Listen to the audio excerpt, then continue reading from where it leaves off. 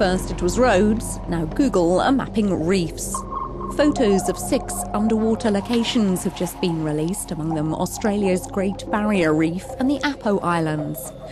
Divers with the Catlin Sea Survey are using special cameras to take about 50,000 images as they swim around the barrier reef. The pictures will be combined into high resolution panoramic scenes. They'll also provide invaluable information about the reef's health. The world's oceans are facing a crisis. And at the moment, we know that many of the ecosystems upon which fisheries and people depend are going downhill. The question is, what do we do about it?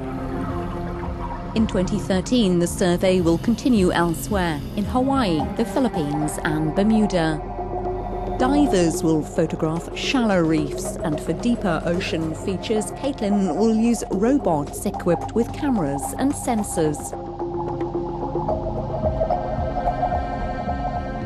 So the big element of this project is to uh, essentially give those people access to uh, the ocean through virtual diving they'll be able to drop in on the science, see what the scientists are doing, and actually experience these marine environments for the first time.